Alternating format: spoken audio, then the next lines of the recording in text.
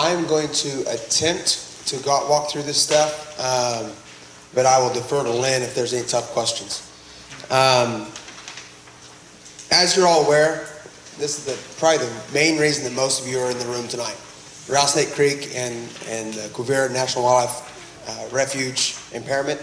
Uh, backstory, just bring everybody up to the same page. I will fly through this, so we're going to go fast through time.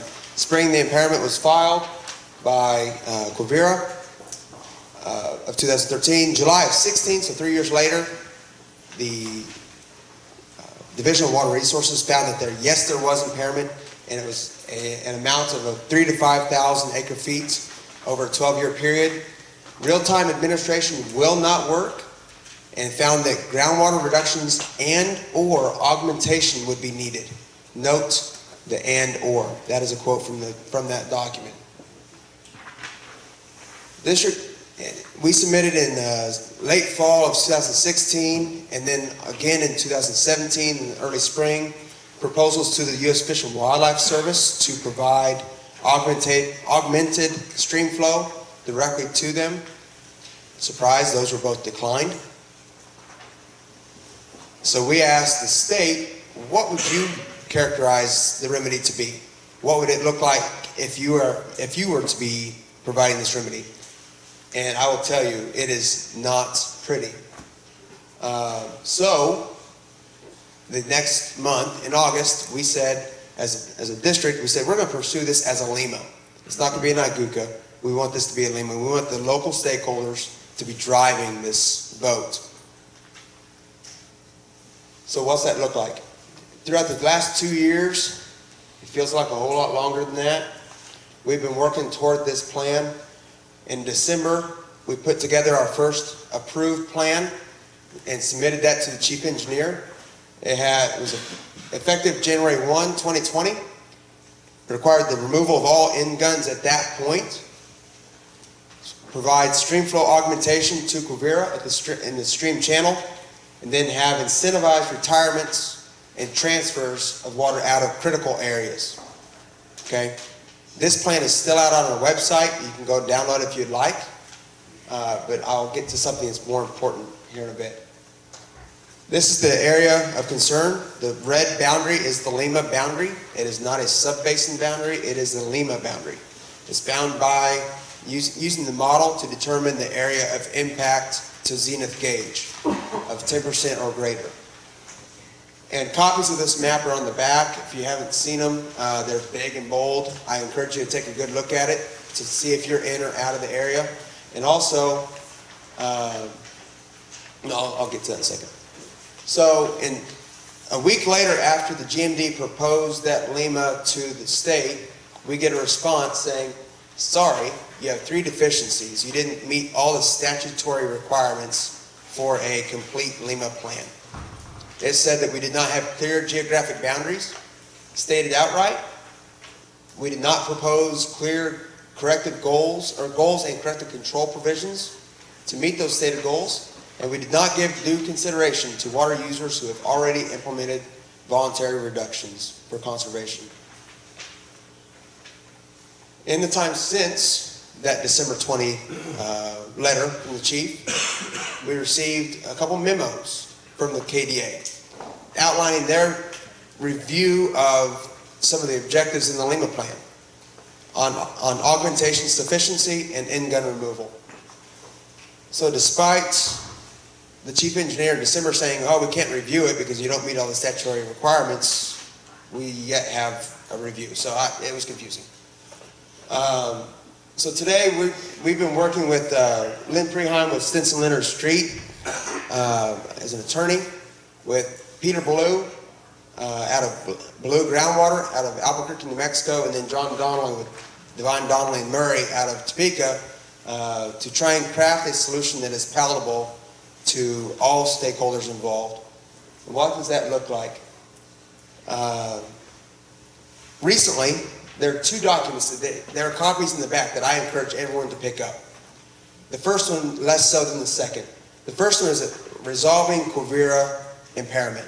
That is from the perspective of the district. We answer the same questions that the, the state answered in one of their memos. Okay, I encourage you to take a look at that. That was backed by Balleau Groundwater and Stinson Leonard Street uh, on what was said in that memo, but the, probably the more important one, in my opinion, is the one authored directly by Peter Balleau. And it's, it's back there on, on his letterhead, and it outlines this, how the LEMA plan is sufficient as an impairment remedy, how it satisfies it completely. Okay? And in that memo, it references some, some figures. This is a fig, what's called figure two out of the chief engineer's assessment of the augmentation plan.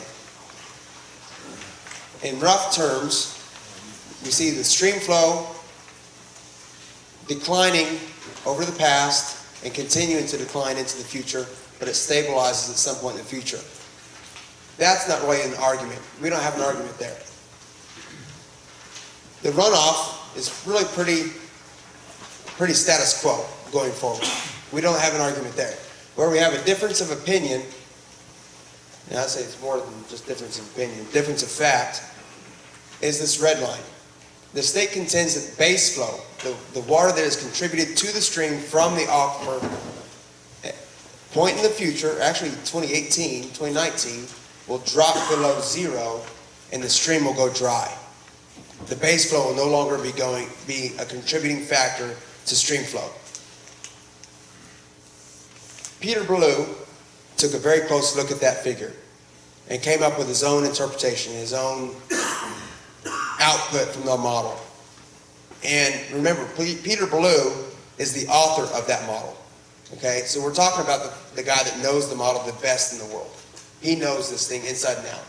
So if he tells us that this is how the model is, is should be interpreted, I can take that to the bank myself. His interpretation of the model is that base flow, while yes is declining, it stabilizes and never goes below zero. So base flow is all, continuing to be contributing to the stream from the aquifer. So the stream does not go dry. Total stream flow and base flow both stay above the zero mark into the future. That is the issue at hand here. That is the difference of opinion between KDA, DWR, and GMD5. I cannot stress that enough. Any questions on this right now? I know that I'm going very fast. This is status quo. Yes. Status quo going forward. No, no modification to the, to the pumping. This is what it looks like. So no modification. Base flow stays very, very good. It's diminished, but it's still there. So, where are we at today?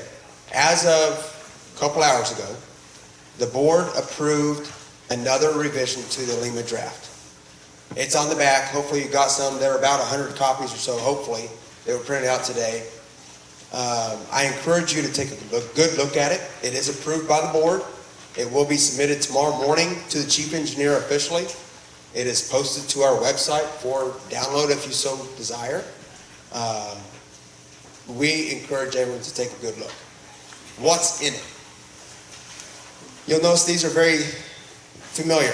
Effective January 1, 2020, remove all end guns. Okay? Streamflow augmentation, incentivize retirements and transfers out of critical areas. I copied and pasted that from the previous proposal because they are exactly the same. Okay? Why are they the same? Because Balleau Groundwater says that, that the LEMA plan is sufficient. So why are we doing anything beyond that? Anything else is, is a waste of time and money. Okay? We're not going to do that. Wow, that's all I had. That was very brief. Um, the LEMA plan is a 10-year plan, effective January 1, 2020. The previous had a previous plan had a five-year review, midway point. That's gone. This is a 10-year review because any hydrologic effect would not be seen at year five. So what are we doing? But there's too much of a hydrologic lag in the system to be beneficial, so we're just wasting, wasting time. Does not mean that we're not gonna take a look at what's going on in the system annually. Absolutely we are. We're gonna keep a very close eye on what's going on. But that's, there's no need for a formal review at year five, okay? Um, trying to think of other major issues, major revisions. Um, one of the criteria that we were cited on as deficient, we did not give due consideration for past water conservation. Okay? The current LEMA plan does not have water use reductions in it, period. Let me repeat, no water use reductions in it. That is supported by Peter Balleau in his science. So, if we're gonna be giving conservation, giving consideration for past conservation, what are you gonna be rewarding folks for? You're not gonna be able to give them extra water in an allocation, there are no allocations. We've tried to figure this stuff out, there's, you can't do it. So it's, it's a, it's a moot issue. So it's, there's this, there's a short paragraph describing that in the plan, uh, page five or six, I believe. Um, But that's, that's all there is in there. Um, There is a clause for corrective controls, section eight, that talks about what happens if, at the end of it, there's still issues going on. Well, what this plan says is that the corrective control is, we'll take a look at with the modeling, and if more augmentation is needed, we'll pump more water. If less is needed, we'll throttle that back. But we'll stay in balance with what the science says is needed. Nothing more, nothing less. Okay? If at some point, the review committee and DWR and the district come to an agreement that there is something, there, the gap between what is needed and what is being supplied is too great, then we look to the chief engineer for an IGUCA. That's a huge if. That's assuming that our science today is bunk and doesn't work. I don't believe that's the, the case. Are we gonna continue to- to refine our science? Sure. We're gonna be catching that and keeping a close eye on that all the way leading up to that. So getting to that clause C in section eight, I don't believe we'll see. But it's in there just in case. Okay? Any concerns or questions? Those are the, the big, big revisions to this plan that were different from last time in December. You Sure, John.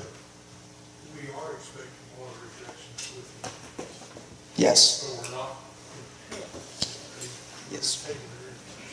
We do anticipate seeing inherent consumptive use savings by removing the end guns. That is the basis for everything. We're not, however, requiring an allocation that reduces your ability to pump your system. There's a huge difference there. Okay? The state would like to see water use reductions, so bring you down to about fifty percent of your authorized water right. No, we're not doing that. We disagree. The science doesn't prove it. The science is not there. If that was the case, base flow would be dropping below, below zero, and then we have a bigger issue to, to address. That's not the case. Stafford County is a full bucket. I'll get to this in a bit, but in, in the annual meeting packet, you see the water level change map. If you look at Stafford County, look at how much blue is in there. Almost the entire Stafford County is in blue. If you talk to Kansas Geological Survey and ask them about Stafford County, they'll say Stafford County is at or above pre-development levels. So why are we reducing water use in an area that has water table that is rising? It doesn't make sense. Okay? Any other questions? I probably won't go further than what some of the committee want to see. Rita? Acres of use gonna stay the same with the end gun removal? We would require, right, we would require that the end gun be removed from the system, not just shut off, but removed from the system. Okay? There would be an inherent reduction of acres that would be wetted acres with your system. Okay? But your allocation remains the same. All right? Why is that going to save water? How can we say that's going to save water? If we were deficit irrigating and always trying to play catch up every single year, and the crop was always looking for more water, the argument's valid. But that's not the case here.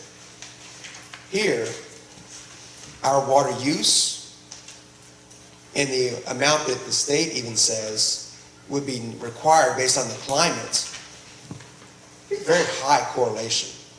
So we're using the right amount of water. We're not using excess.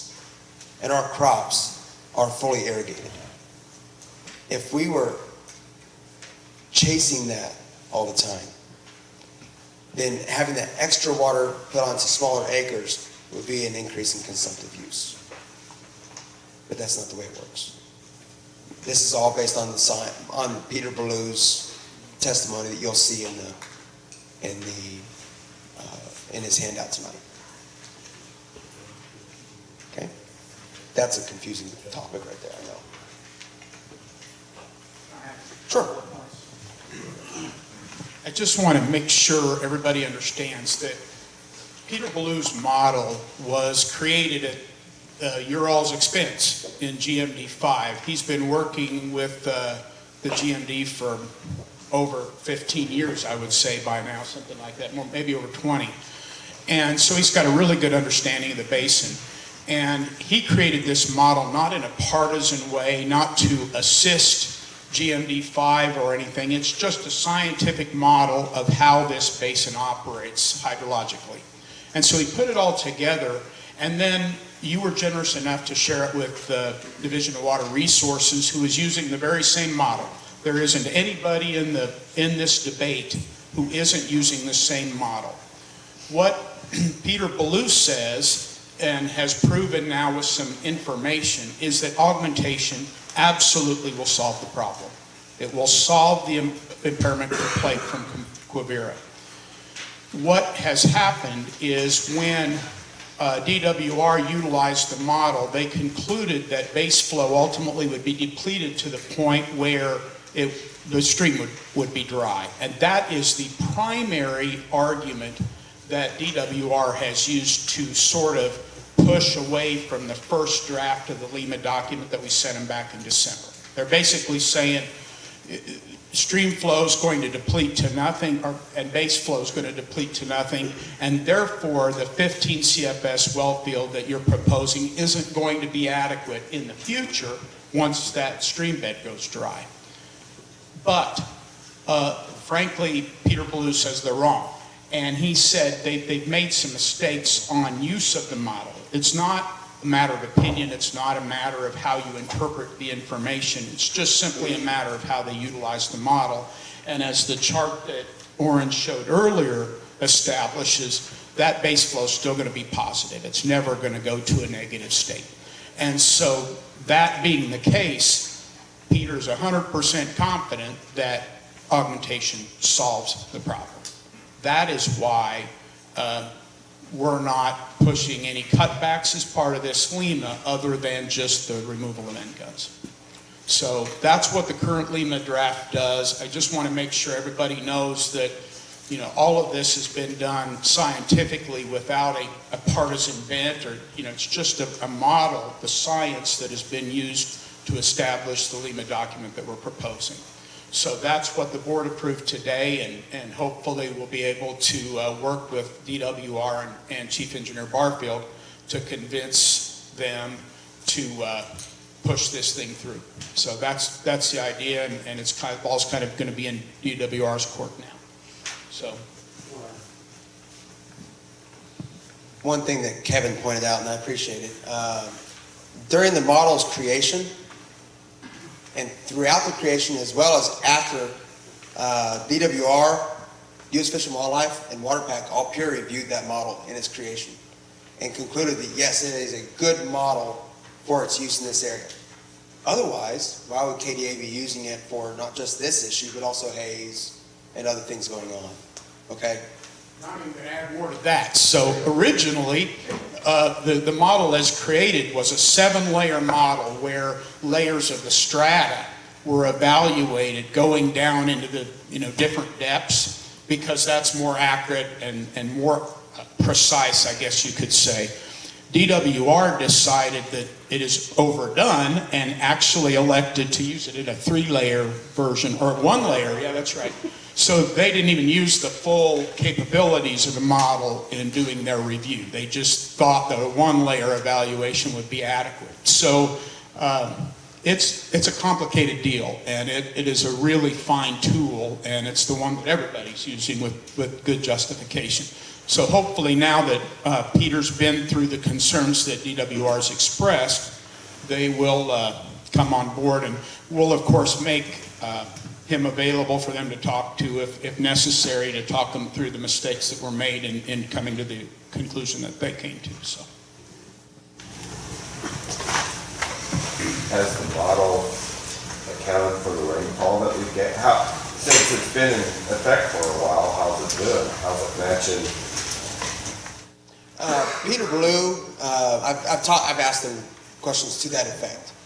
Um, not precise for that, but to that effect. How's the tracking going forward over the last years? Because the model data stops in 2008. Uh, but how, so how's it predicting these last years? It does a very good job. It, it's reproducing this information with a high degree of accuracy. So I even have more specific information than that. So the model has a 4% margin of error. And uh, so what he did is he took the historical stuff and put the model to it and said, what is it predicted? Has it been right? And is, it within that 4% margin of error? So everything that's happened since has been consistent with the predictions that the model made. So it's, it's accurate and uh, within the margins of error.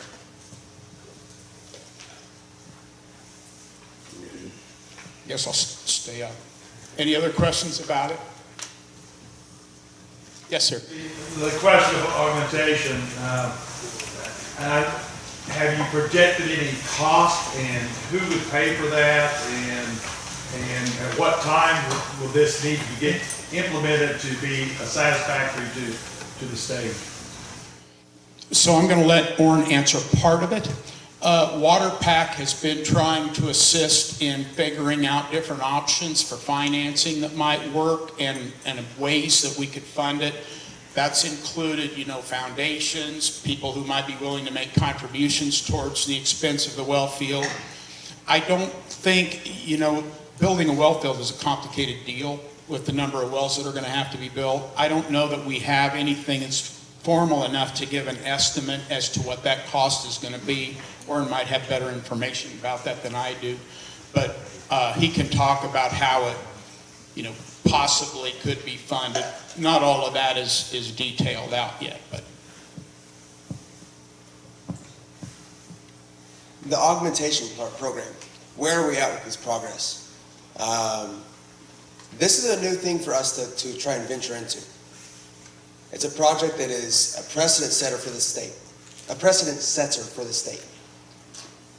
So very early on, with the blessing of, of Daryl um, and, and some of the board members, I said, "This is outside of my expertise for crafting a plan that's going to be satisfactory."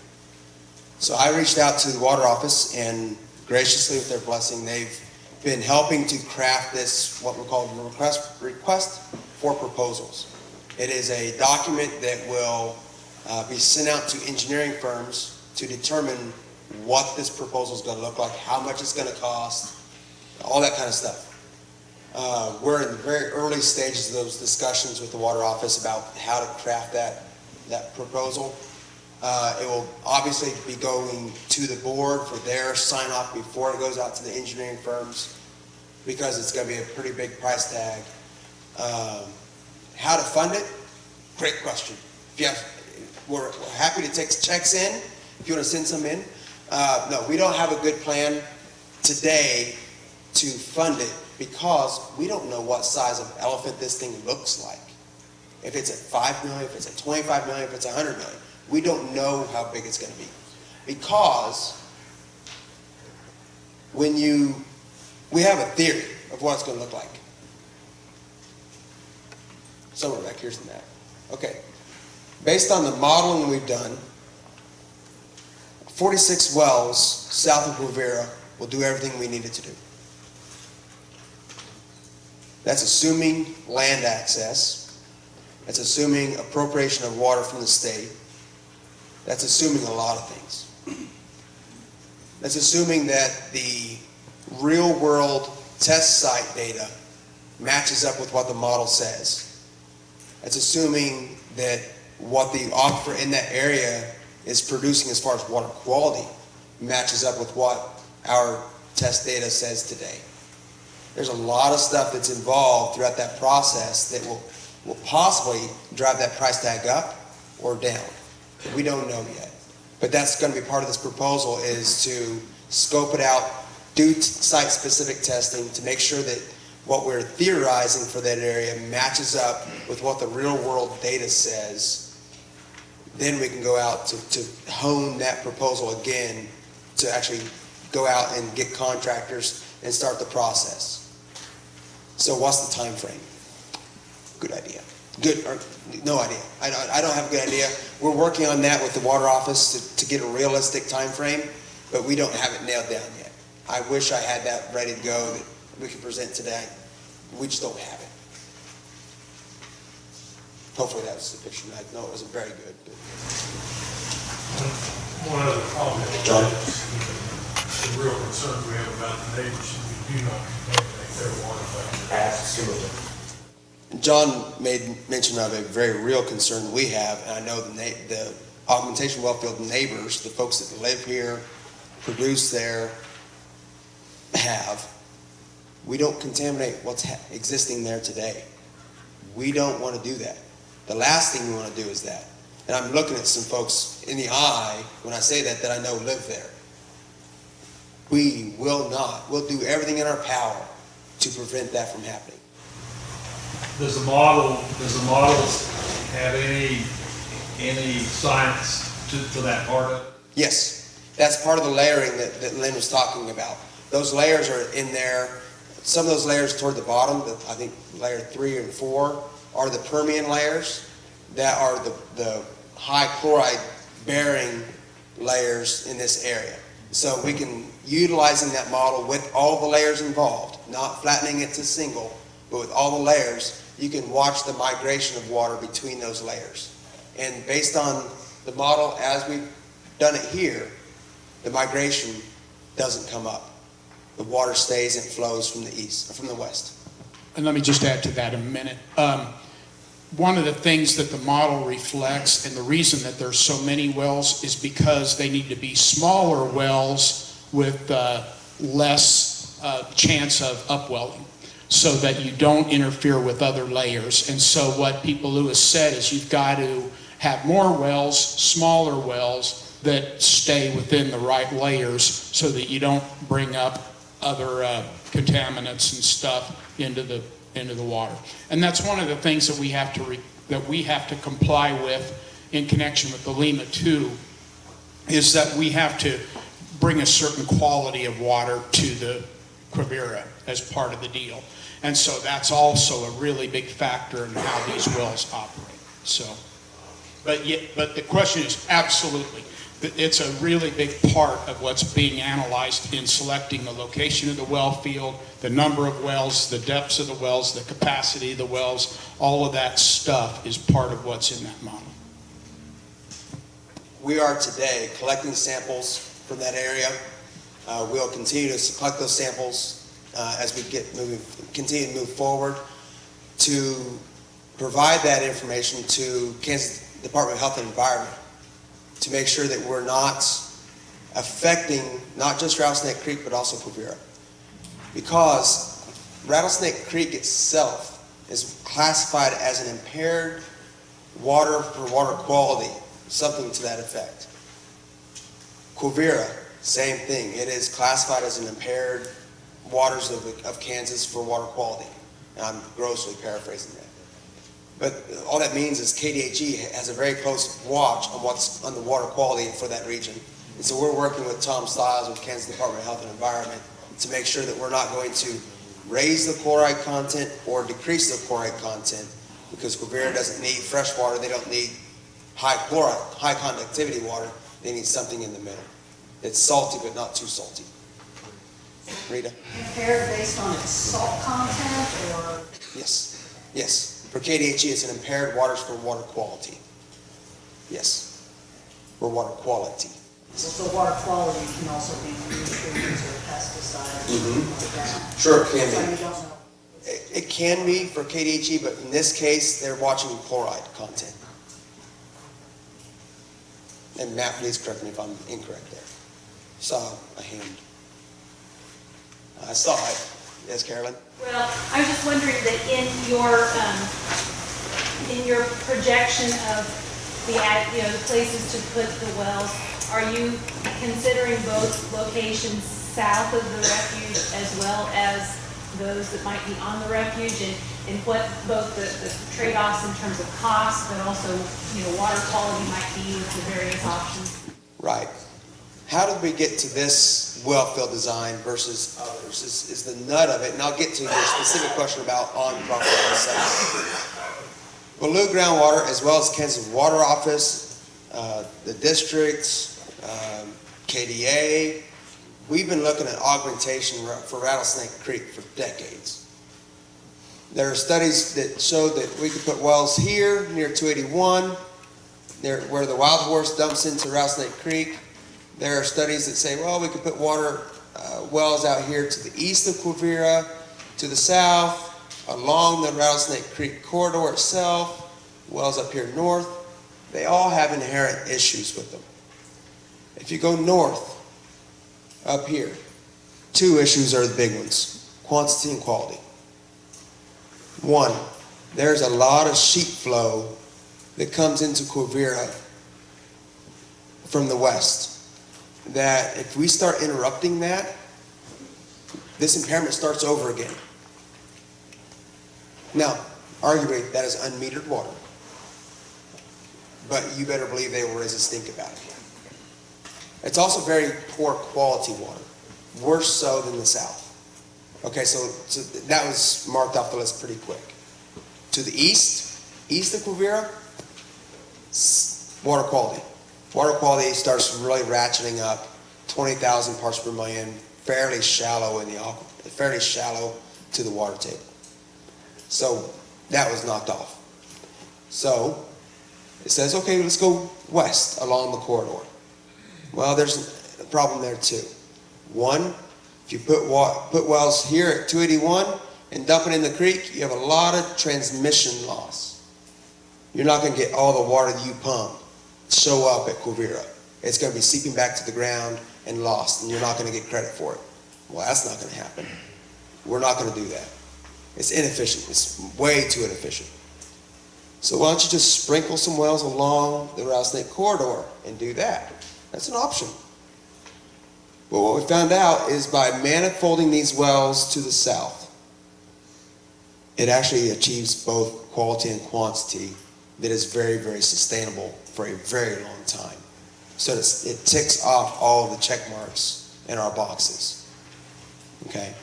So now to, to Carolyn's question about siting wells on property. Well, NEPA, Endangered Species Act. It's gonna take a lot of work to go, to overcome those federal regulations and statutes. Are we opposed to that?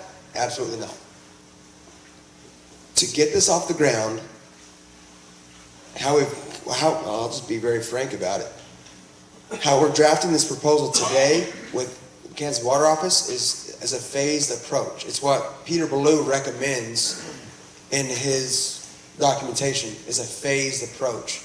Come into it with a small first phase to make sure it works, reality check it, make sure everything works fine, then if you need to, ramp it up. What I would like to see is that second phase have one or two wells sited on property. It's gonna take a lot of work and a lot of discussions with U.S. Fish and Wildlife the folks in DC to make that happen. Not saying we're opposed to it, it's highly efficient if we can do that. But it's a lot of red tape. We've requested previously and continue to ask, highlight those issues and we'll address them. Tell us what we need to do to, to address it and we'll do it. And we've not been told what those issues are to date. Okay? So, in the interest of getting things moving forward, this is the theory we have right now. It's not, not necessarily the final plan. It's got to be fact checked. But this is what the theory says will work. It has a lot of information, sorry. Questions? Yeah. Is the service uh, doing their part of sharing in, in the expense of this? Sharing in the expense, I would argue no. Uh, however, um, KDA, DWR, to their credit, has require, is requiring, and you heard me say this last year, is requiring U.S. Fish and Wildlife to update their conservation plan. Basically, their metering plan, everything involved with how they operate and maintain Quivira National Wildlife Refuge for compliance with their water right. That's happening. We've requested uh, to see a copy of that as it's being drafted to make sure that what we're planning is in line with it. We've not seen a copy of it yet. Not saying we won't, just saying we haven't seen it yet. But yes, they are being held to bring some things up to date, but as far as sharing costs, the augmentation plan, or anything else,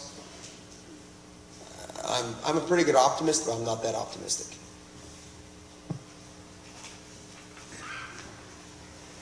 Any other questions?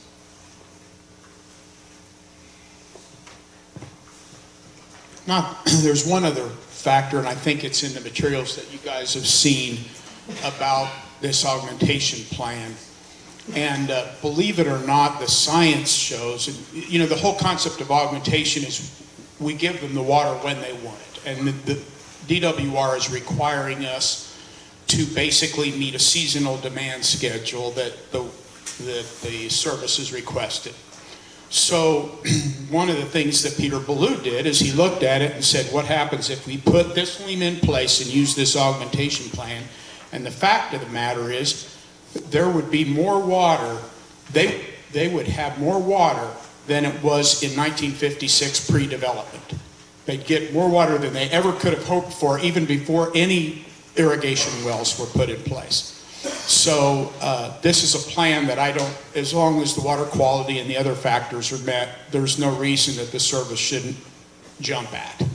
And uh, hopefully now that we can show that it's a sustainable plan and that it doesn't deplete stream flow in the same way that, that DWR thought it would, uh, hopefully it, it'll work for them too. So.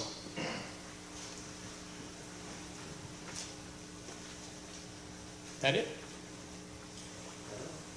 Yes? Let's not lose sight of the fact that what you just said, that they're requesting water at a certain time of year. Our water rights don't say that, and neither does theirs. And they've been warned the way most of us have been warned that if there is no water, that's it. Right. And there's some drought contingency stuff built into our LEMA plan too. Um, But that's absolutely true. And one of the arguments we've made throughout is that it's an annual water right. You don't get a say, I want this much in June and this much in September and, and so on. Um, And if we ever have to argue that in a different forum, we will. But hopefully we can work something out where we don't have to, to do it that way. Um, but, but that is entirely true. And back to the question about whether or not um, structures and wells on the preserve itself would be appropriate. You know, we have asked for that. Those were proposals that we asked the service to consider, and at least to this point in time, they've rejected them. So if, if for some reason that would change, it would be great because it'd make this even simpler, but whether that'll happen or not is, is anybody's guess. There are already man-made structures on Quivira. There are concrete structures, there are windmills and uh, cut channels and other things that exist across that uh, preserve that, you know, are man-made. So it's not like it's destroyed the habitat for the birds and such if you go in and put a well there. But whether they ever consent to such a thing is going to be the issue. Yeah. Are there other case studies or examples you looked at with this offsite augmentation or models that you use to help determine kind of what the metrics are of of how you compensate for the land access or the water access? No, and, uh, you know, that is going to be an issue eventually, where these wells are going to be and how that is all acquired and so on. I don't know that there's any really, any comparisons like this. I mean, you know, there's a concept where uh, augmentation, or not augmentation, but condemnation is used to acquire land for purposes of like, of this. I don't know whether that is something that ultimately would be used, or whether they'd be able to approach owners of water rights in the land in the area or whatever. I don't know how that's all gonna play out. It's just gonna have to see how we can make it work. Um,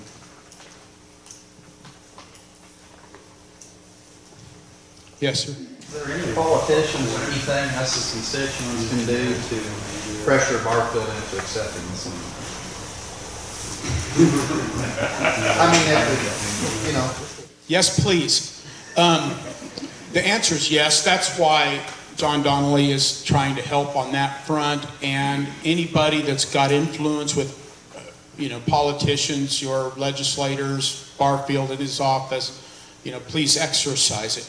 I mean, one of the thing, the cool things that WaterPack did is evaluate the economic impact of this, uh, of cutbacks, for example. So let me back up one step.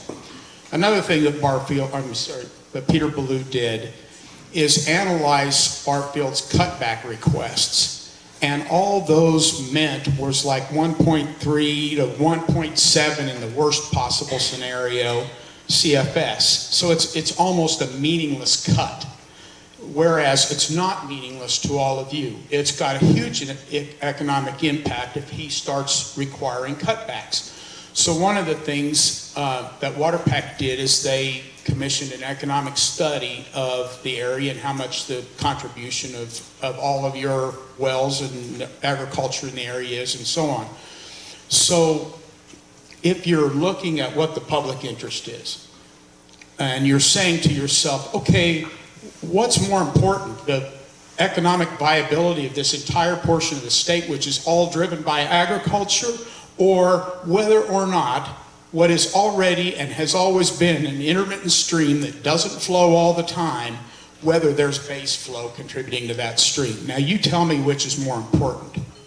And that's the position that we need to take and make sure Barfield understands. Uh, what public interest is served? I mean, it, it, one of the things that I've been tempted to do is just go take pictures of this stream bed, the, the Rattle, Rattlesnake Creek stream bed, and say, okay, if this doesn't run, or if it does, what's the big public interest that's being served by having more water in it more often? What is it? Compared to the economic devastation that would happen to all of you if they start making enormous cutbacks, when all we have to do is put in an augmentation well field that the science says will absolutely fix the problem. That's, that's it. To, to add to that, uh, if, if the chief engineer doesn't accept the proposal, will there be any?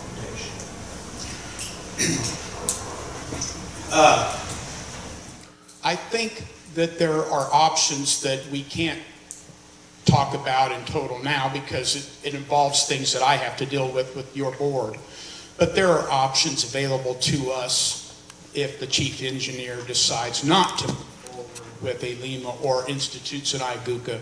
And we'll explore those if we have to. I just, my hope is that we, we won't have to in light of all the new information and the new scientific stuff that we've developed. But, you know, I, uh, I suspect the fight will be on if, if we can't get this done because it makes sense. If we're, if we're in charge of paying for it, Right. there's gotta be some, some communication, some get along at some point, or what's, you know. Right.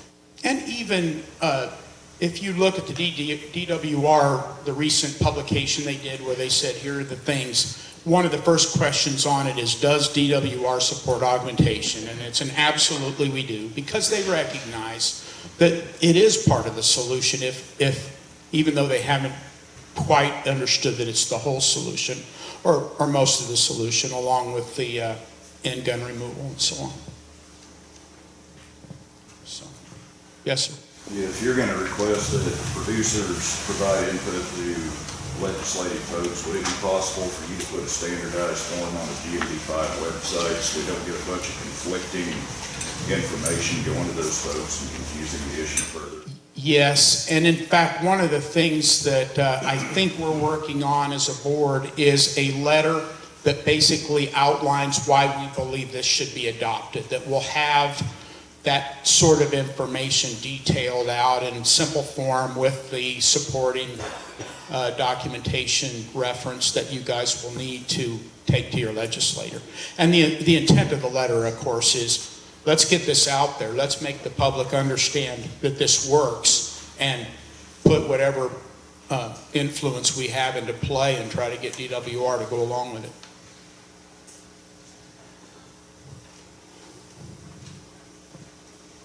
And hopefully that's going to be pretty fast. I mean, I'm, from, from where we are, I think that letter's going to come out soon.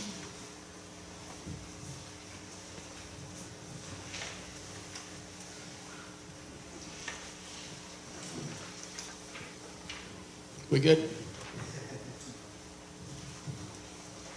We're trying, you, you should be very proud of your, uh, your board, your, uh, LEMA committee.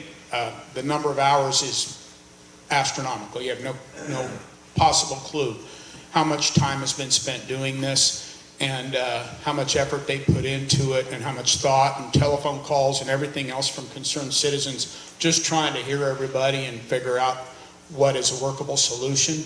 And then the other piece of it is, you know, you are the only place, you had the foresight to hire somebody like Peter Balleau, who is a remarkable man and has a uh, tremendous reputation and, and built this model for you.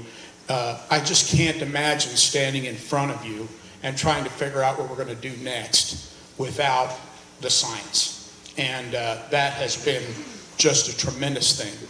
And so you guys should be complimented for, I know it cost you some money, but uh, it, it's going to end up costing you a lot less than what would have happened to you had you not had it. So.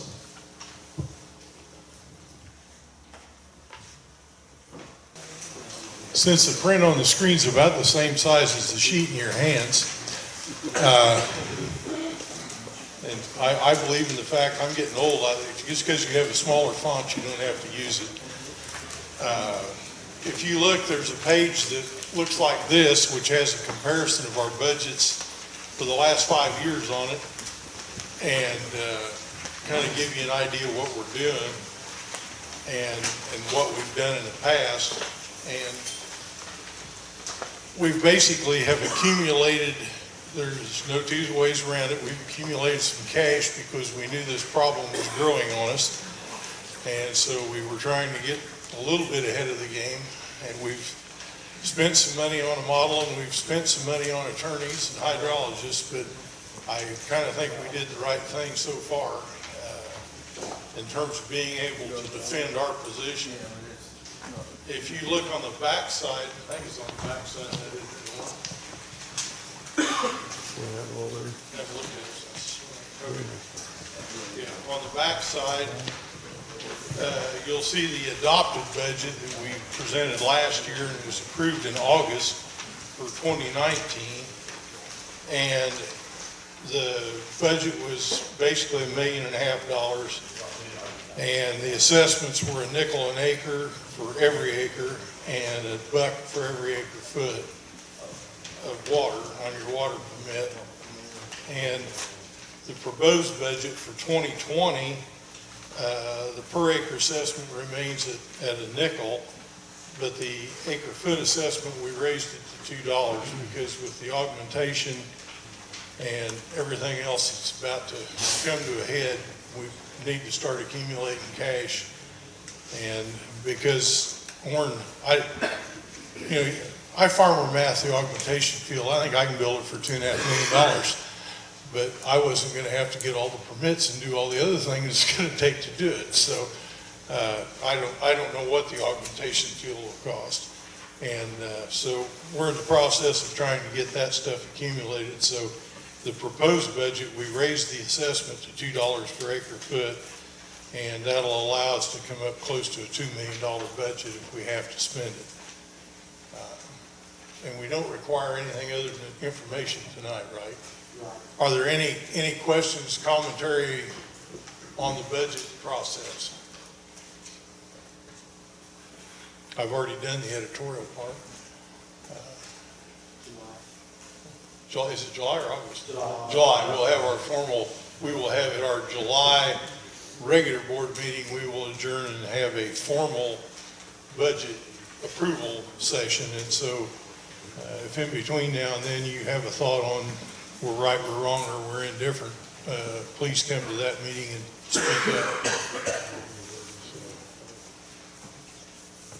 Thank you for being here tonight. Thank you for your support. The one person that, well, persons that probably didn't get quite enough recognition tonight is Orrin and John and Michaela. Uh, This thing is a huge load on those people because the, the LEMA committee looks at it and we listen to your complaints or your suggestions or whatever they happen to be, but in the end, we go, you know, Orrin, we've had these comments in the last month, would you please deal with this? And, uh, and the nice thing about Orrin is he understands the concept of writing for the brand. And uh, he's backed our play and done what we needed to do in this process, which is in your best interest. And so I think he, uh, he deserves a round of applause, I think.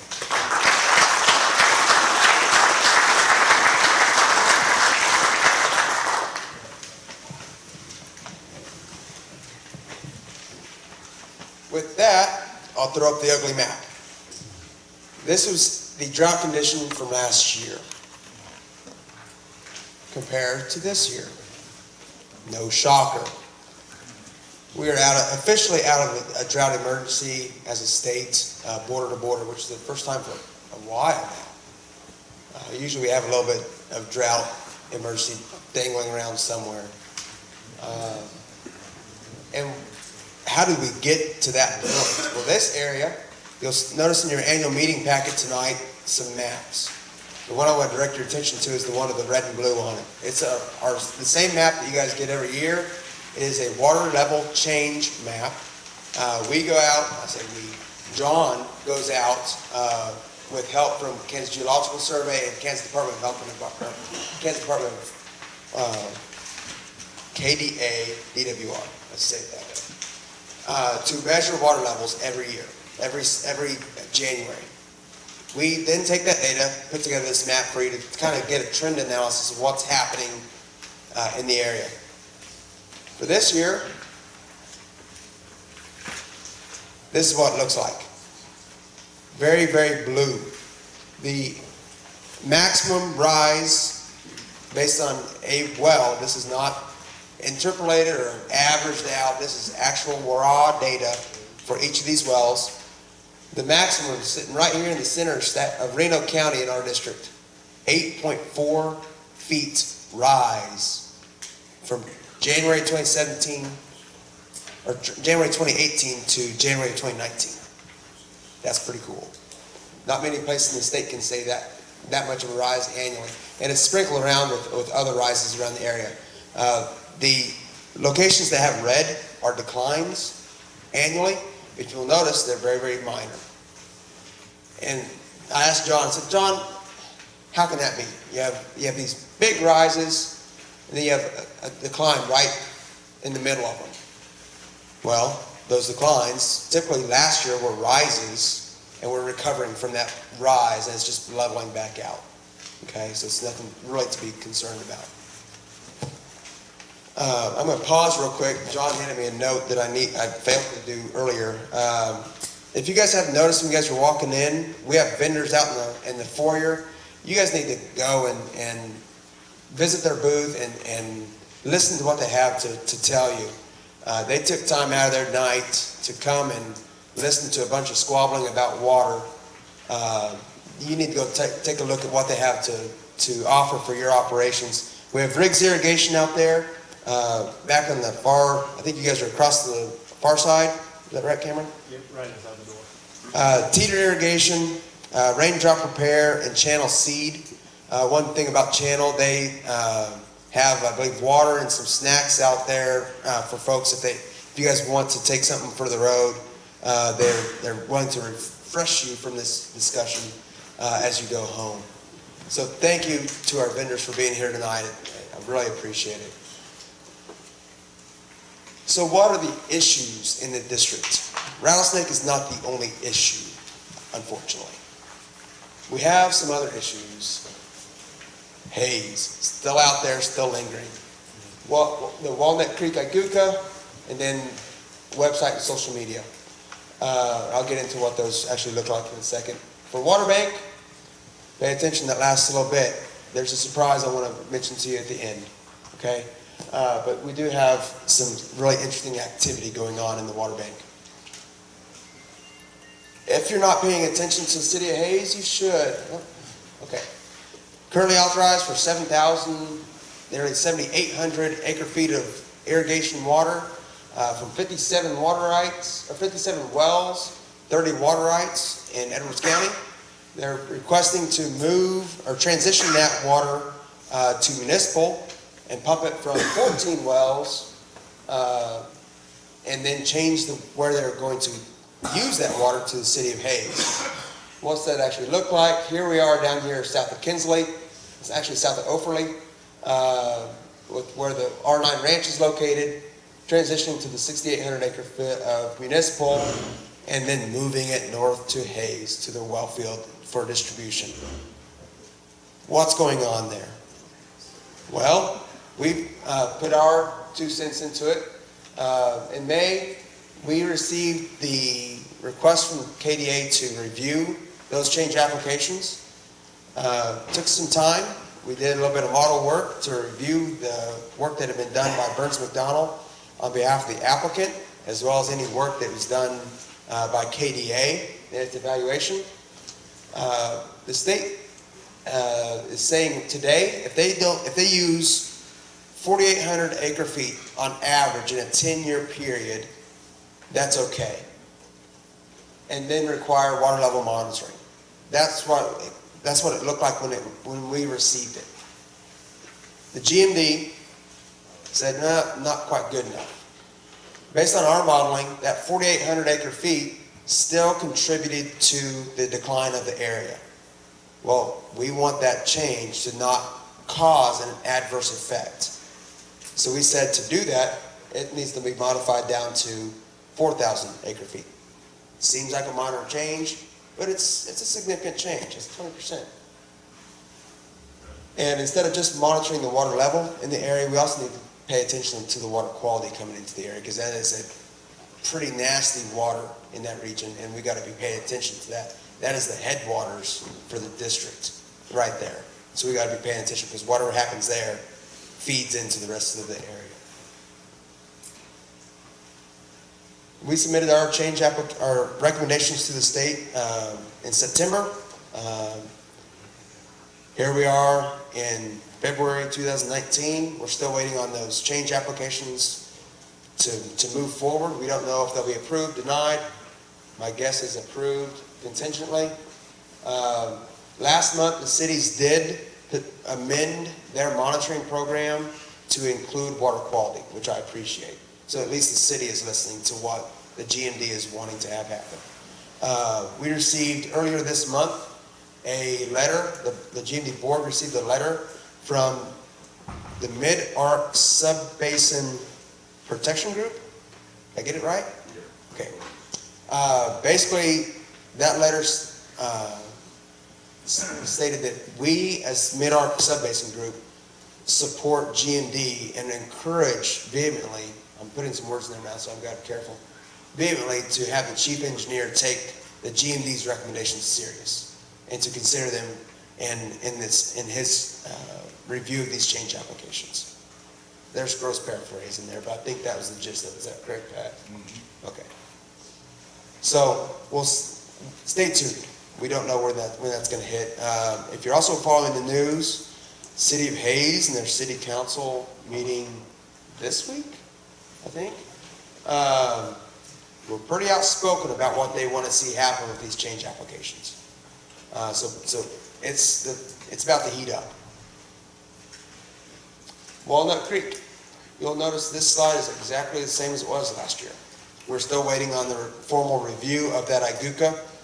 Um, Yeah, we've been waiting since what, 2015? Here we are, 2019. There's been a few things that popped up on the radar since we made that request, so I understand. But we still, this is still a hot issue for us to be addressed. Still to date, no hearing has been set on this issue. Website, if you guys have been paying attention to our website, hopefully you have. We have completely revamped it, meaning we, Michaela in our office, say hi Michaela, uh, has gone through our website and revamped it from ground up. We hope that it is much more informative, much more user-friendly. There are a few items on there that have never been there before. You can come in and schedule an appointment with, with district staff to have a discussion about your water rights. You can come in and, and set up an appointment for your meter to be tested, all from the website. You don't even have to give us a call. If you don't want to talk to us, we get it. You can go through the website and do it. Uh, Calendar of events, if uh, we have a meeting scheduled, we post it to there immediately and it's live. As soon as we get that event posted, it goes straight to the website, uh, as well as any agenda that would be for that, for that meeting. Um, Water bank. We are in the midst of a five-year review according to statute. Uh, It takes a look at what we're doing as a water bank to make sure that we are complying with all rules and regulations and statutes for Kansas. Uh, It's comprised of several uh, entities, not just water users, but also uh, economists, uh, university representatives, uh, water users outside of the area, water users from within the area, to give a very thorough and independent look at what's going on in the water bank. Uh, We are in officially the last week of that review. We had a meeting today on this, uh, and good things are happening. I'm, I'm very encouraged by that review. I, I love those reviews. I think they are very beneficial to making sure that what we're doing as a water bank not only meets the statute, but is in line with what you as producers want to have that water bank do. Uh, So long as it doesn't violate statute. Um, Yeah, we have one more week. We, Water Office and this evaluation committee have one more week technically to submit a report to, to these folks uh, in Topeka. Uh, Okay, what's been going on in the water bank?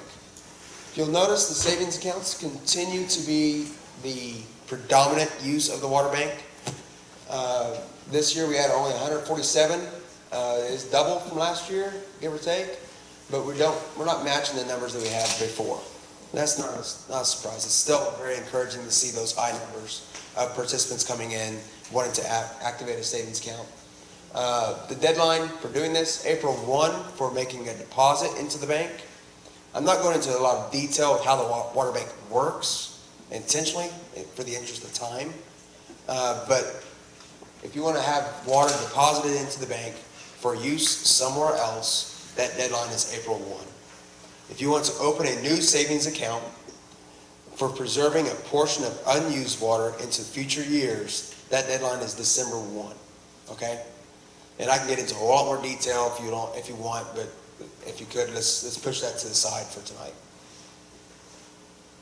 So right now, we have about 1,500 savings accounts, which is pretty remarkable. The fees, this is a fee-driven animal. Uh, They did not change from last year. Uh, So here they are. They are posted to our website for your perusal at your leisure. Uh, Real-time notification, this is new as of about two weeks ago or so. Um, If you want to be notified of water becoming available in your subbasin, this is the only mechanism that you're going to get notified on. It is an opt-in system. Uh, You can opt in or opt out at, at your desire.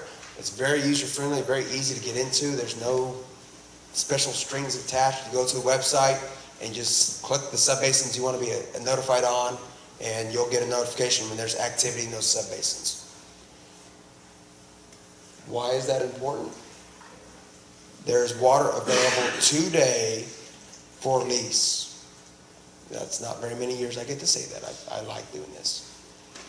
There's 326 acre feet and change available today for lease in the Arc Subbasin. It is utilizing a sealed bid system, so we need to get a bid in for what you want to pay for that water. Uh, Minimum bid is seventy-five dollars per acre foot. That's the reserve. Anything above that, high bid wins. Uh, those bids must be received in our office by the end of business, February twenty-eighth. At that point, on March one, I will sit down with staff and we'll open those up, and whoever is the high bid is gonna get their priority on getting their water fulfilled. Uh, there is a fee for filing that. We want serious bidders here, so it is hundred fifty dollars to submit a bid. It is done using the application for lease form available on our website. Further details about how this all works can be found on the, on this website below, or you can hit up John or, or myself, uh, or any of the water bank board for further details on how this sealed bid system works. Uh, but at this point, we do not have any bids. So if you want an option on this, let us know and we'll get going. Again, right now, by the way, there are only four people on the ARC subbasin notification list. So if you weren't notified, you're not one of those four. Okay? Uh, so if you want to be notified, get on there, and when we notify again coming up uh, this next week, you'll get that notification, you'll see what it looks like. So the end of next week is what I'm trying to get at, is the deadline. Any questions on how this sealed bid system works with the, with the lease program? Okay. Um, and with that, I will get out of your hair and, and, and sit down for once. Um, unless there's any questions on anything we do as a water bank or as Big Bend. Sweet, you guys are letting me off easy tonight. This is great. With that, I think it's Barry, right? No. Who is? Is it John? All right. John Donnelly with uh, Divine Donnelly Murray. Yep, thanks, Orrin. I'll be very, very brief, and I'm, I actually am really excited to be brief because the last, oh, four years, we've had the House Water Committee up there. We don't have a House Water Committee anymore this year. They actually disbanded that uh, committee, so there's been a lot fewer water bills. Uh, that was a committee where bills went to die, basically. It, it seemed like there were lots of ideas that floated around and didn't go anywhere. Uh, and we also are kind of, uh, I guess, losing a little bit of our vision, I'll put it that way, uh, which is, is somewhat of a, a, a relief. Uh, we don't aren't having as many water bills being pushed through from the administration, the new administration. They're still trying to get their feet under themselves. Uh, so really, there's only one water bill that's uh, floating around, and it actually had a hearing today. It's Senate Bill 182. Uh, it was actually proposed by the Kansas Livestock Association. Uh, just as some background, it was in response to, I'm sure many of you heard about uh, KBI and Attorney General's investigations into some water meters uh, all across uh, mainly the western half of the state. Uh, and anyways, there was a criminal investigation. There, they found nothing was there, so they told DWR that they could. There was the, the only remedy was through the civil action. So there were some civil actions brought against some folks about tampering with meters. The producers and, and the, the people that were involved in that, uh, some of them didn't think that that was a proper way to handle that and have brought forward a uh, meter tech bill that basically, in, in a very brief summary, uh, would would create a situation where if you have a water technician come work on your meter, it is sealed, the seal's not broken, uh, you, you, there's no knowingly proof, there's no proof of intent, then you would basically have liability protection and they could not bring a fine against you or any, uh, or any suspension of your water right. The hearing was held on that today. Uh, there were proponents, neutral testimony, and some opposition from some other GMDs. Uh, I think the direction that will be going is there will be a working group over the summer to try to come up with some resolutions uh, to that issue. I, I think a little of that also blends in with some of the increased fines that uh, have been showing up around the countryside for either uh, in- inadequate reporting of water use reports or also some overpumping. Uh, So all of this discussion, I'm, I'm guessing, is going to be blended together. uh, And, and, and both sides will need to kind of talk about their story and, and explain what they want to do. I know from DWR's perspective, what we're hearing is, is they want to have enough penalties and the availability to go after someone on the first year if it truly is a bad actor, that someone that just that made the economic decision, "Ah, I don't have any, I don't have any check marks on my file, I'm just gonna go ahead and pump because I need to right now. With the ones that are, that are just mistakes where something just may have overpumped for a little bit or, or whatever. So those discussions are ongoing right now. I don't see anything coming this legislative session, uh, but I do think that that will, that discussion will continue to heat up through the summer. So pay attention to that. Uh, tell your association that you're involved with, the GMD, uh, board, kind of what your thoughts on that if you, you feel uh, that's necessary. So that's, that's the big issue that's happening in the waterfront right now. Uh, As always, the, the water budget, uh, on the water, the, the water authority budget, uh, and, and whether those monies will go into the Kansas Water Plan, uh, I think it's still yet to be seen. Uh, The proposal, as I recall from the governor's budget, was to put a similar amount to what they did last year. We'll see what happens as we go through the process. Uh, You know, at the end of the year, right now, it's showing that we'll have uh, probably closer to $800 million surplus this year uh, in the state general fund budget.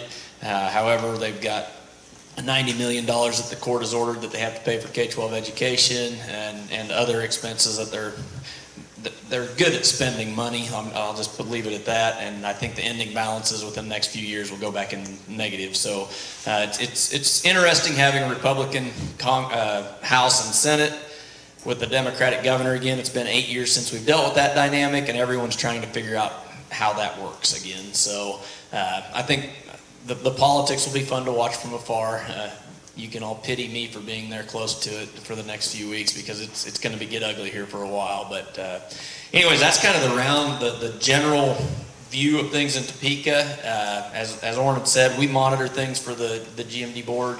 Uh, we also represent a lot of other interests as well. Um, but we, we try to keep Orrin and, and the board is up to speed as we can uh, on issues that are affecting us. Luckily, on the water side, it's a little bit slower this year.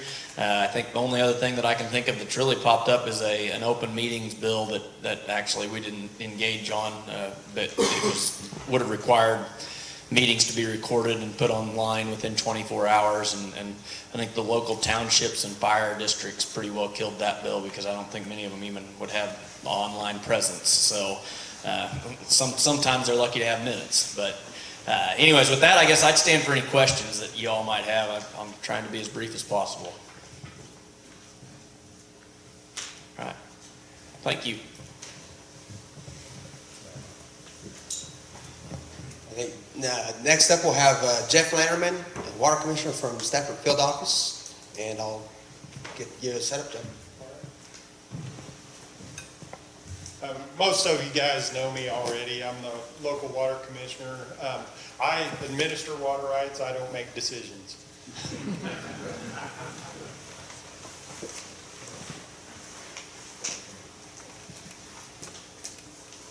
Um, Right, yeah. Um, I only got like three slides here. Right now, you know, I know it's a late night, so um, it, I just wanted to talk about the major issues that are going on in my field office, and uh, pretty much uh, some of the um, most uh, significant issues in the state right now are in our field office, and I know you guys realize that. Um, I'm not going to go into anything additional on the Quivira impairment complaint. Uh, You heard uh, the most significant um, uh, developments happen today, and that's where it all stands, so you've heard all of that. Um, As far as, uh, we keep our website up to date, uh, I put the, the website address up there. Uh, We try to keep that up to date with any of our um, uh, latest information, or positions on that, so keep your eye on that. Um, It's up to date as, as things go. I imagine the LEMA will be up there um, probably tomorrow, the new LEMA. So, um, as far as the change applications for the city of Hays, you'll hear David uh, Barfield talk about that. And, uh, you've probably heard about it in the news. That is at the top of his list right now. That is pretty much what he is working on right now. Um, our, the, uh, public comments were closed last September, uh, with regards to the, uh, change applications. Um, Right now, David is working through uh, the very good comments made and recommendations from the Groundwater Management District, uh, Water Protection Association of Central Kansas, as well as all of the other public comments. Um, Hope to have uh, uh, a decision on those change applications uh, very soon. Um, uh, One of the other uh, huge projects that does not affect you guys at all is the, uh, Wichita has requested some changes to their um, aquifer storage and recovery project in uh, County. Uh, This is, uh, these are pretty major changes, and um, uh, the Groundwater Management District and uh, local water users have uh, been having a lot of input on that. We have a two-day hearing scheduled coming up in uh, late March, and uh, I don't think that two days are gonna, are gonna cut it. So uh, Chief Engineer is the hearing officer on that, so. Um, One of the other issues that um, I've heard a lot of concern about uh, from probably a lot of you already is um, the, the water use reports. Uh, There is a new fee effective this year um, for paper water use reports. Um, If uh, you file online, that, that fee is waived.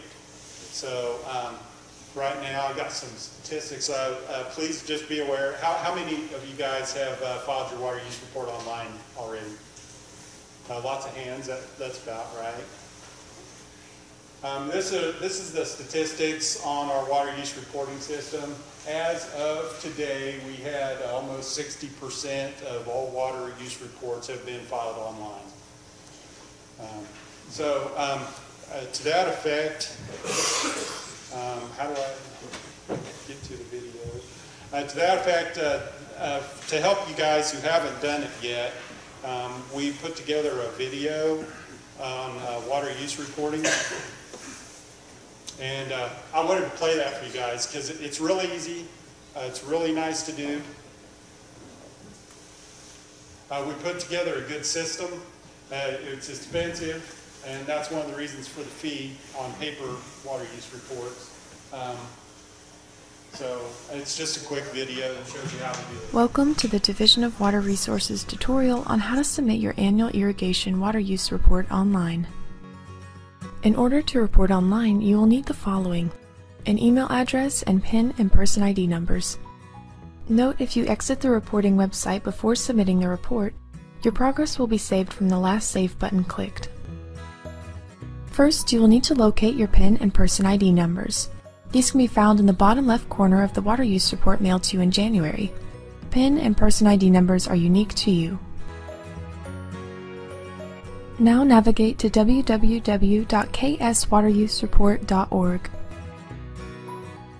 On the home screen, you will use the PIN and person ID numbers on the mailed card to log in. Below is additional information and instructions, as well as contact information for all DWR offices. Now log in.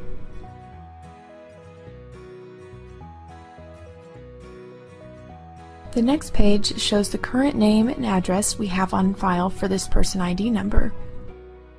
If a change in water use correspondent is needed, click this link. If a change in ownership is needed, click this link. Now select either address is incorrect or address is correct to move on. After confirming or updating your mailing address, the reporting process begins. This page is a summarization of all file numbers associated with your person ID. If you submitted an annual water use report online in the past, these reports can be accessed here. Clicking on a file number will open a description box that describes the location of the point of diversion. To report for a single file number, click the file number and select the Acre Group button. If two or more file numbers irrigate the same place of use, select the Acre Group buttons for all files that irrigate that place of use. After selecting the appropriate Acre Group box or boxes, click Report on Selected. The file number and point of diversion are located in the far left column. Optionally, you can add an alias to this point of diversion to help you identify it quickly in future reports. In the next box, you will indicate if the point of diversion was used in the previous calendar year. If it was not used, you will need to select an option in the pop-up. Here you can indicate reasons for non-use, such as adequate rain, insufficient water, water quality issues, and much more. If the point of diversion was used in the previous calendar year, select Yes. Now you will input the number of acres irrigated, crops grown on those acres and whether or not it was a double crop, the type of energy and system for your point of diversion, the number of end guns, and if you plan to chemigate in the year following this reporting season.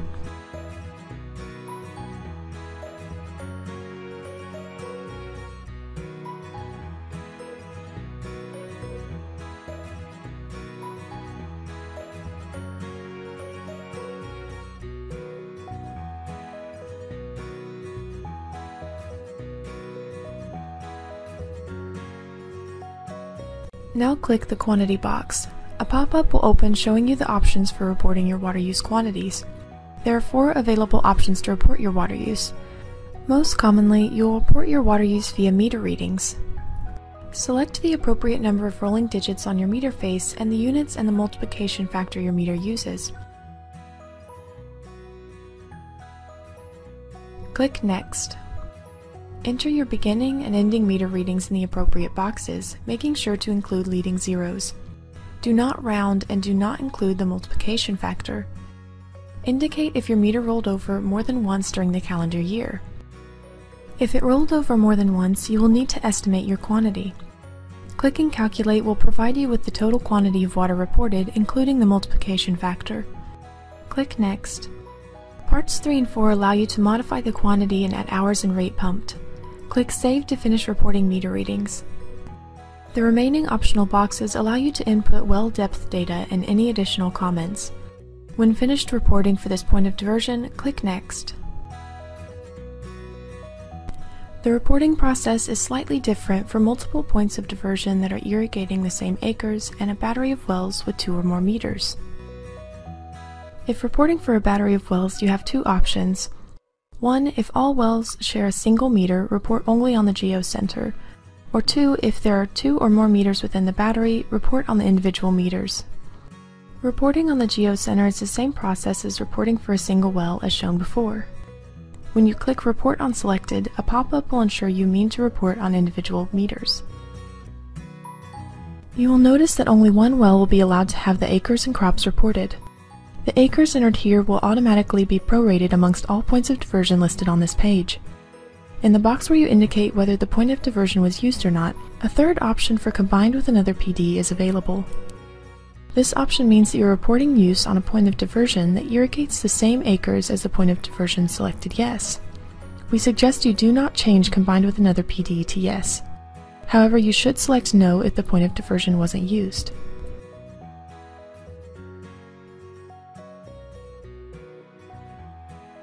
The combined Quantity 2 option allows you to indicate if this point of diversion shares a meter with one or more other points of diversion listed on this page. Clicking it will gray out the quantity box. Report the quantity under the point of diversion it shares a meter with. Use the comment box to indicate which point of diversion it shares a meter with. Report the quantity, type of system and type of energy, number of end guns, and chemigation status for all points of diversion that are reporting use to finish this page. If your meter broke or you had more than one meter recording water usage, you will need to use option 3 to report. Indicate if you are reporting for a broken meter or routine maintenance, such as calibration. For this example, we will be reporting for a broken meter that was removed with DWR permission. Click Next. On the first set of meter readings, indicate the number of rolling digits, the meter unit, and the multiplication factor shown on your meter face.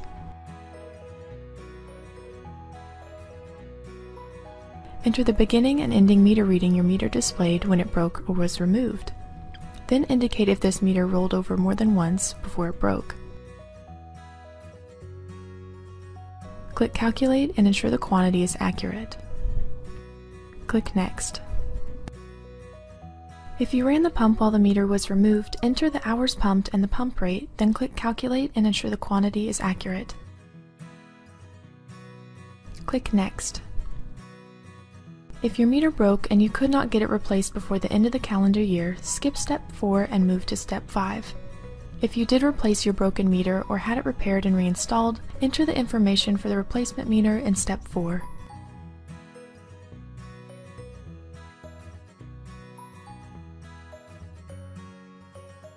Click Next. Ensure quantities here are correct and indicate if you are certain your first meter readings are reliable.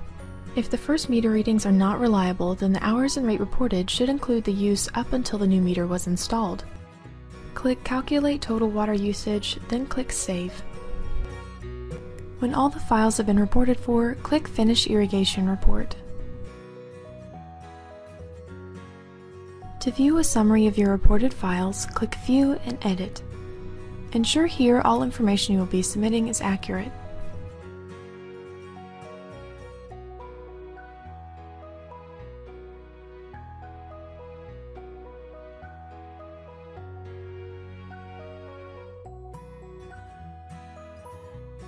To submit the report, click Sign and Submit.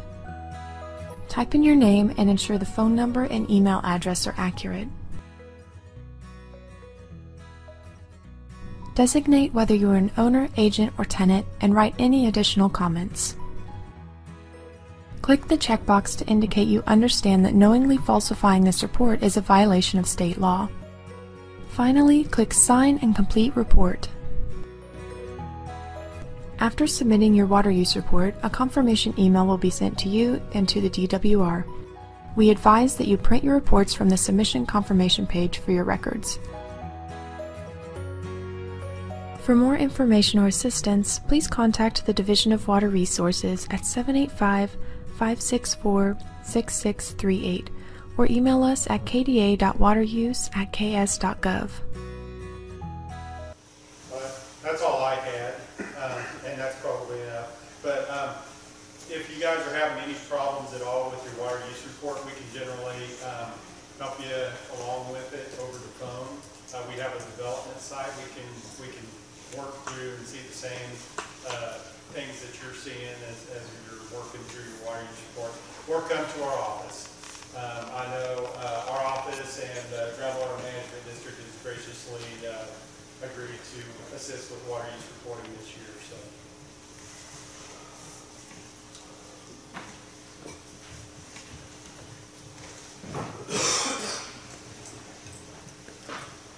Thank you, Jeff. And I want to reiterate, yes, if you have any issues with filing your water use report, please get in and see us. Uh, we're, we're trained on how that system works, and we're happy to help you out getting your report filed.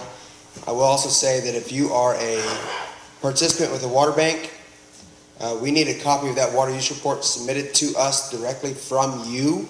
We do not get an automated system report.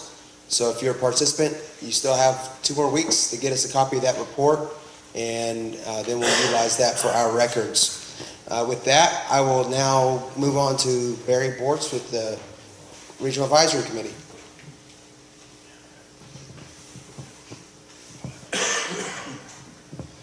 Orrin asked me to visit with you guys for a little bit about uh, what the state's uh, calling their State of the Resource document.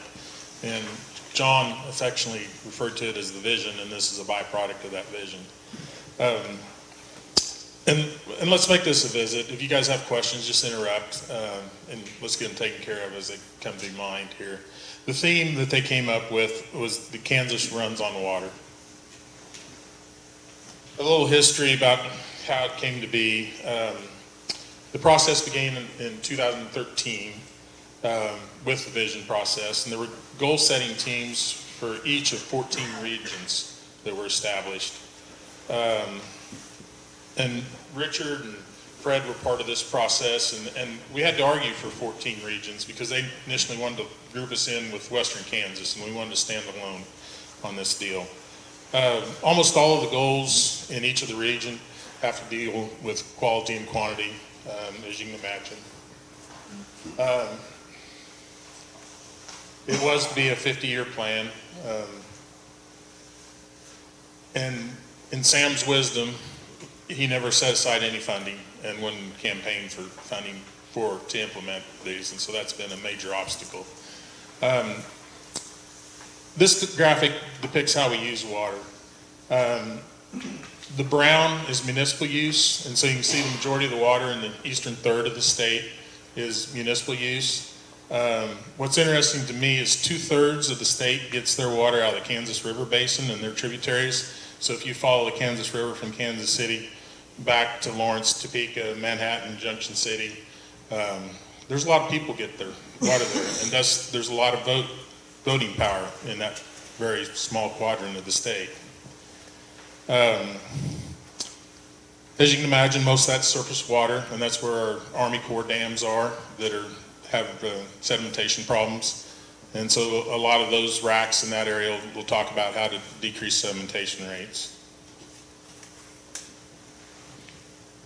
The state has prioritized um, the problems or, and the purpose is that we need to ensure sufficient supply of usable water. And then next, they want to educate the public. We have to be able to tell our story uh, in order to have funding opportunities at the legislature. And then we need to decrease the sedimentation rates. This is a map of um, our region. It's the Great Bend Prairie region, or Great Bend Prairie Region Advisory Committee is what that's referred to.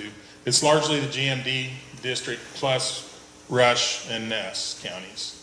And so it's kind of a diverse area. We have uh, some of the problems in the eastern part of the district that they have in the eastern part of the state. Um, and then we have some of the problems that they have in the Ogallala out there in Ness County. So uh, we, we take a look at a lot of different things. Um, it's the RAC's responsibility to continue to gather input from the citizens and the stakeholders in the region and communicate these concerns to the Water Authority while monitoring the progress and implementation of the goals. This is the list of our RAC's goals. You've seen these before. Um, They haven't changed. Um, If you want to see the complete list and the action plans, they're on the website at the Kansas Water Authority RAC page. Kansas Water Office, excuse me. For those of you don't know, this is Matt Unruh. He kind of handles all the RACs and tells us where we need to be, when we need to be there. So he's a great asset for us on our uh, committees. Um, Almost all of the um, 14 RACs have goals that fit into one of these five categories. Um, Eight of the regions have goals dealing with storage issues. Ours just has, happen to be a groundwater storage, you know, do we have enough in storage to fulfill our needs? Uh, A lot of them are surface water, as you can imagine. The conservation part and technology is being dealt with, uh, demonstration farms and our technology farm like we have there north of Macksville. Um, The uh, majority of our water comes from the High Plains um, aquifer that is is unique and different to the uh, Ogallala aquifer, and that's one of the reasons we wanted our own separate region. Uh, You want to change slides there, I think, Warren? Um, We do have some alluvial waters, you know, in the Ark River Basin, uh, but the majority of our water comes from the groundwater. Um, Something else that you're painfully aware of is we have four wildlife areas. Uh, We have Cheyenne Bottoms, we have Quivira, we have the one in my backyard, Isabel Wetlands, and then we have the Texas uh, Lake Wildlife Area that's kind of a mini Quivira. I guess it'd be in Barrett's backyard, wouldn't it? Um, We can go to the next one. This is a really busy slide, and it's probably hard for you guys to see. Um, The red depicts the municipal use. Uh, The blue is the, uh, blue line is the annual precipitation. And uh, there's no surprise there, and the blue bars are pumping use. And so there's no surprise when precipitation dips, our pumping goes up. Um,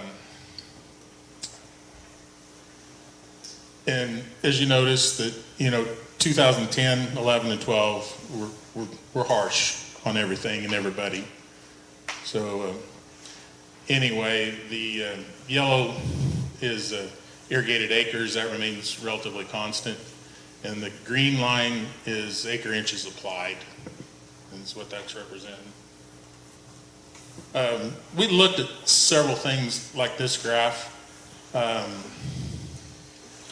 This is a, a 10-year graph of water level changes, uh, accumulation of those blue and red dots that Orrin presented earlier. And uh, again, as water uh, pumping goes up, water tables decline. But when you look at annual data points over a series of years, it's difficult to de- uh, determine the trends. And so we've got an engineer on our committee that is just great, Jeff Holstein. He's a great individual, lives out at Jetmore, Kansas. And he took the time to rebuild about 100 hydrographs for us. And then once he had those entered into spreadsheets, we looked at varying time lengths of moving averages. And what we concluded that we about need to go out to a 15-year moving average. And then instead of having these trend lines that go up like this, that you can't decipher what's going on, we can straighten those out, and it's a lot easier to visualize what's going on over a period of time.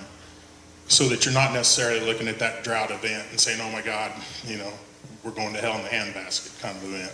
So anyway, that, that was one of our suggestions, that we start going to 15-year uh, moving averages to analyze that stuff. Um, This is a map of, that just is over five years, 2013 to 2017. And for most of the area, we recovered from 2010, 11, and 12. There's a few small spots, uh, the- the darker yellow that showed a decline. But when you're looking at things, always check your units and always check, check your time frame. The next slide will be a 20-year one. And so those areas became larger, but we're still dealing in feet. And so that's a relatively comparable map. But then the next slide goes to a 60-year time frame. And all of a sudden, the intensity increases when you look at that map. And so when you're telling your stories, make sure you have your units and your timelines straight and what you're trying to tell, okay?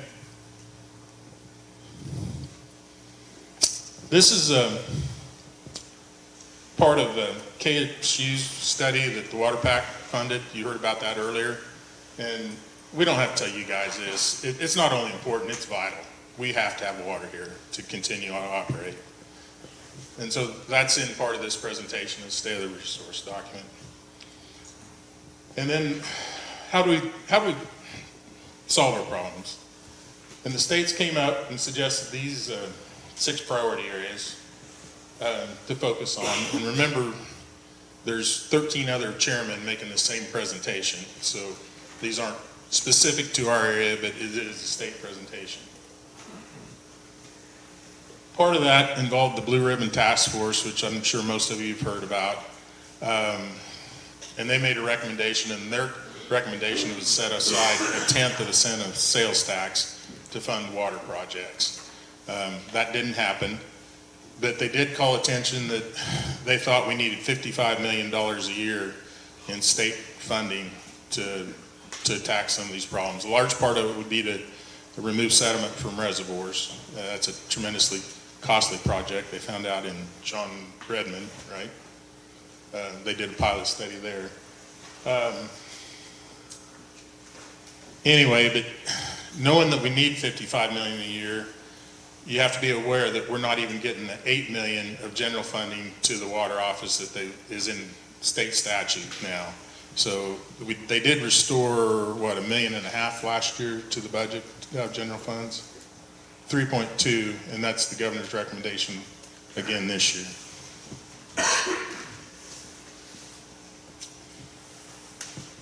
And you can help. As it was suggested earlier, we need to get out and tell our story. Uh, any chance for you to talk to a legislature or a community um, group or something, take, take an opportunity. If you meet a stranger in an elevator, hey, I'm a farmer. Water's important out here. That's probably the biggest thing we can do to get funding. remember, this is for our kids and our grandkids. And when I looked at this slide, it reminded me of a little bit of history within our family. And I don't mean to bore you, but largely it takes two generations to affect change. Um, When our great-great-grandfather came over, he spoke German, just German. And his kids started learning English, but it wasn't until the next generation that English was spoken in the house. And then from a personal point, I remember when I was a second, third grader, we get these little newspapers called Weekly Readers. And they suggested that we actually wear seat belts. And so what do we do? We go home, tell mom and dad, and they say, get back up there by the back window and take a nap. You know, leave us alone. And then we get into driver's ed, and supposed to do it again. We got a new family car in 1974. It was a Ford, we Ford, or a Haven Ford. And we all piled into it, and we're all smiles. Drive around the block, and there's this buzzer, and the dang thing wouldn't go off. So my dad pulls back into the garage and says, something's wrong with this car. There's a buzzer not going off. It was a seatbelt buzzer, so he had him unhook it. We're not going to wear seatbelts. Okay? Then our kids come home from driver's ed and say we need to wear seatbelts. Well, we do for a while, and if we get on a big highway, we do. But now that we got grandkids, everybody wears seatbelts. So again, it takes a couple generations to affect change. So we have to tell our kids why we do the things we do and the mistakes that we make. Because we're not perfect. We've made some mistakes here, guys. Um, have you got questions you want addressed? We've got more info available at the Kansas Water Office website, and uh, there's an RSC page there um, if you want to look at stuff. And these guys are a great resource. They, they accumulate all this data. Um, If there's no questions, I'd like to acknowledge some people that worked really hard on your behalf. Um, I don't know how many of you know it, that uh, this group was able to amend a portion of the Farm Bill for our little area. And that was no small undertaking, um, particularly in this political environment. But Kent Moore and Richard Winstrom, Pat Jansen from WaterPack, Rob Manes and Heidi Mehl and Chris Knight from the Agri Conservancy, Representative Marshall and Estes and Senator Moran, Tracy Streeter from the Water Office, Bill Northey, the Deputy Secretary of Agriculture, Greg Lewis, and for those of you who don't know it, he needs to be in our prayers and thoughts. His family's struggling right now. Keith Miller from Farm Bureau. And they just did a fabulous job in getting the CREP program modified to allow dryland farming with the hope to meet the GMD's goal to retire some water rights with a voluntary program that if you're faced with making a difficult decision, you could be compensated rather than just having your water right taken. So for those guys, they deserve a round of applause for all their hard work. Thank you.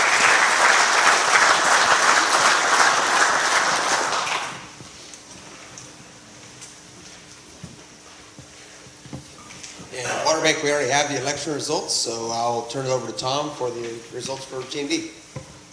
Okay. I think everybody can figure out on Spare and Fred Grunder, they're on for the next three years. And then on, uh, with Justin Gates and Jeff Pricer, we had a tight one, every vote counts. Uh, Justin won by two votes, uh, thirty to twenty-eight, so fill out your ballot. Thanks.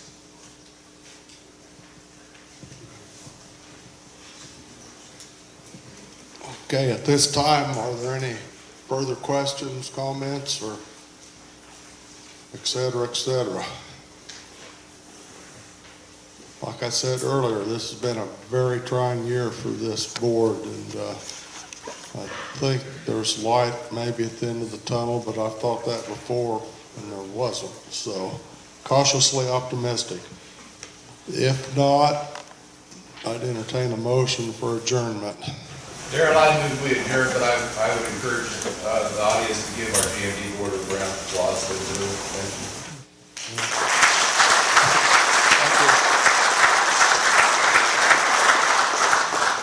So we got a motion, second from Kevin. All in favor, go home.